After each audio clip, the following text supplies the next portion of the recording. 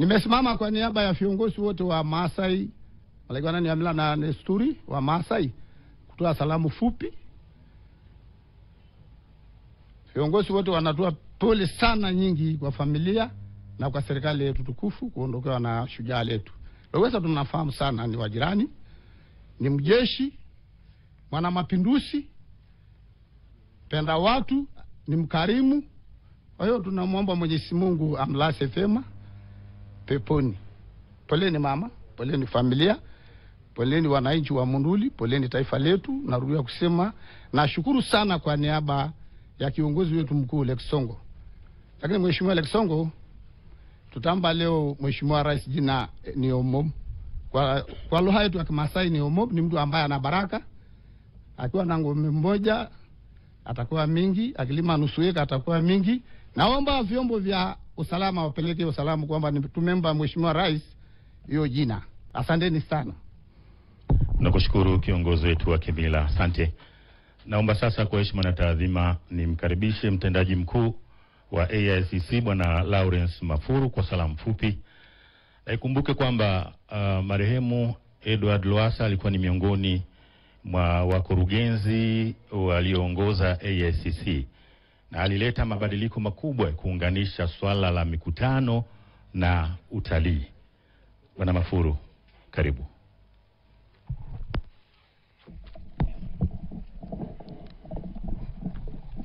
Efrim, karibu. Mafuru wako wawili.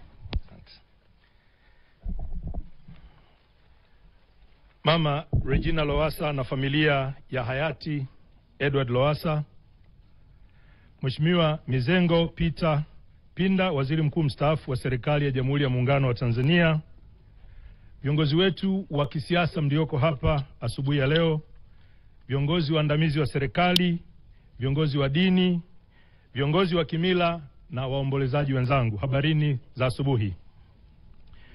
Kwa niaba ya bodi ya wakurugenzi uongozi mzima wa AICC na wafanyakazi wote tunaungana na Watanzania wote kuweza kutoa pole kwa familia ya hayati Lowassa, wanamonduli wote na Watanzania wote kwa ujumla, na tunaomba Mwenyezi Mungu aweze kuwapa faraja kuu katika kipindi hiki cha majonzi ya kuondokewa na mpendwa wetu ambaye alikuwa ni kiongozi mahiri sana katika historia ya nchi hii. Ndugu waombolezaji, miaka 35 iliyopita Mheshimiwa Rais wa serikali ya Jamhuri ya Muungano wa Tanzania wa awamu ya pili alimteua Mheshimiwa Lowassa kuwa mkurugenzi mkuu wa kituo cha kimataifa cha mikutano Arusha AICC. Nashukuru kwa nafasi hiyo, ilimpendeza Mheshimiwa Rais wa awamu ya sita kuniteua mimi kuweza kuwa kiongozi wa taasisi ile ambayo ndio nasimamia hivi sasa. Mheshimiwa Lowassa alifanya mambo mengi katika uongozi wake na ningependa kwa muda huu mchache tulionao niweze kushiriki kusema machache ambayo tutaendelea kumkumbuka na kumwenzi kama kiongozi mahiri aliyeleta mapinduzi makubwa na mageuzi katika sekta ya utalii na uchumi wa mikutano hapa Tanzania. Moja kati ya mambo makubwa aliyoyafanya ni kuunganisha uchumi wa mikutano na utalii. Kituo cha kimataifa cha mikutano kilipoanzishwa kilikuwa ni kituo cha mikutano tu, lakini ili kuleta faida katika uchumi wa nchi hii, Mheshimiwa Lowassa alichokifanya ni kuunganisha uchumi wa mikutano na utalii, kwamba wageni hawa wanaokuja kwenye mikutano hapa Arusha waweze kwenda kutembelea vivutio mbalimbali vya utalii, ili mchango wa sekta hii ya mikutano uweze kuongezeka katika uchumi. Alianzisha idara ya tours and travel, wakanunua magari zaidi ya ishirini ndani ya muda mfupi, lakini wakati huo huo walianzisha duty free shop na wafanyakazi wengi wa AICC walipata nafasi kwa mara ya kwanza kwenda nje ya nchi kusomea utalii wa mikutano, kitu ambacho ilikuwa ni very rare case kumwona Mtanzania na kwenda nje ya nchi kusomea sekta hii ambayo ilikuwa bado ni mpya.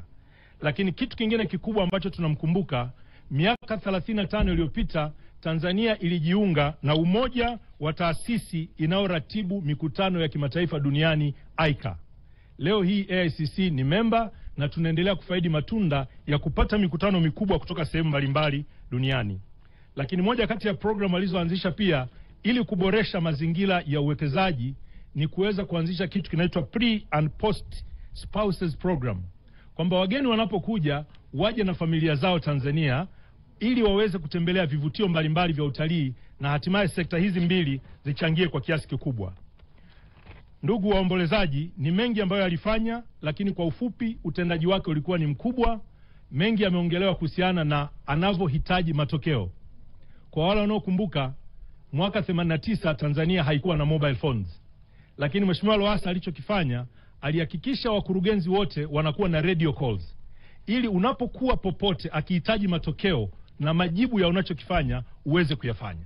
Kwa hiyo alikuwa na uwezo wa kupush kutaka matokeo, na ni kitu ambacho tunajivunia ya kwamba na sisi watendaji tulioko serikalini, performance yako ndio itakaofanya uweze kusurvive katika cheo au nafasi ulionayo. Na mwisho kabisa, alikuwa ni mpenzi wa mazingira. Nimeambiwa ya kwamba AICC na pale Kijenge na pale Soweto ilikuwa kama jangwa, lakini hayati Lowassa alichofanya, alianzisha kampeni ya kutunza mazingira na kupanda miti. Aliwaambia wafanyakazi kabla ya kikao cha kila wiki lazima waanze kupanda miti ndio waingie kwenye kikao. Leo hii tunaangalia miti mikubwa na mazingira mazuri katika mazingira yetu ambayo yalianzishwa na Mheshimiwa Lowassa. Mwisho kabisa, naomba kwa niaba ya AICC tunaahidi kwa Watanzania wote kwamba tutamwenzi Mheshimiwa Lowassa kwa kazi kubwa aliyoifanya ya kukuza uchumi na utalii wa mikutano ambayo pia ni azma ya Mheshimiwa Rais wa serikali ya Jamhuri ya Muungano wa Tanzania ya kuifanya Tanzania kama kitovu cha utalii na hatimaye mchango wa uchumi wa utalii uweze kuongeza pato la taifa na uchumi wa Mtanzania mmoja mmoja. Asanteni sana kwa kunisikiliza. Tunaomba kufikisha salamu zetu kwa po, za pole kwa mama na familia. Mwenyezi Mungu aendelee kuwa pamoja nanyi katika kipindi hiki cha majonzi. Asanteni. Asante sana. Wakati tunaendelea na salamu za maombolezo kutoka kwa viongozi mbalimbali, naomba tutambue uwepo wa Mama Tunu Pinda, mwenza wa Mheshimiwa Mizengo Pinda, waziri mkuu mstaafu na mwenyekiti wa Millennium Group.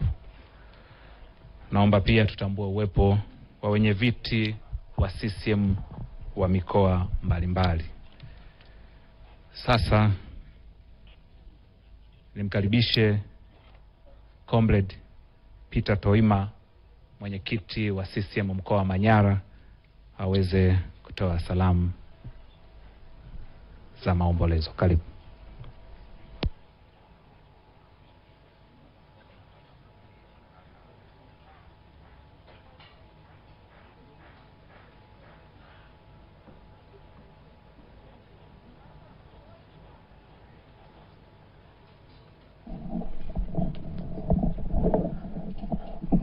Mheshimiwa